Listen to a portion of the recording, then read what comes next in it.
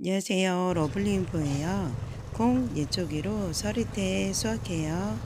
서리태는 콩의 굵기가 큰 것이며 서리태 청자오는 굵기가 조금 작은 것이라고 해요.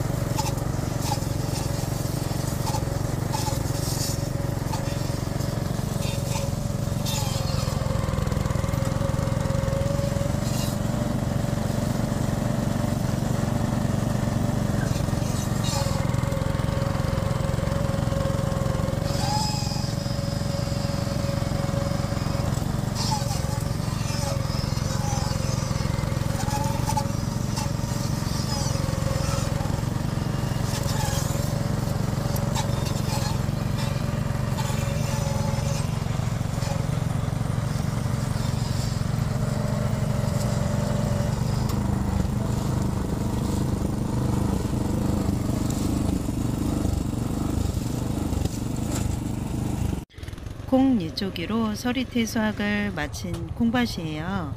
수확한 서리태 탈곡하는 과정도 궁금해지네요.